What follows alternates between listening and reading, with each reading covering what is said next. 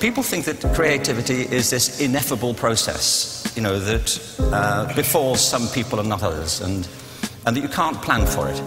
Uh, you can only hope it will take place. And my conviction has always been that creativity is an operational idea.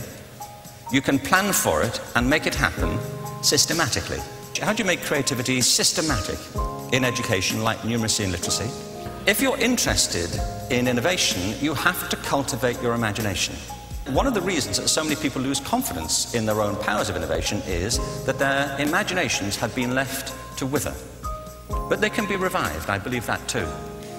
We need to make innovation a habit. We have to recognize that human flourishing is not a mechanical process, it's an organic process. And you cannot predict the outcome of human development. All you can do is, like a farmer, is create the conditions under which they will begin to flourish.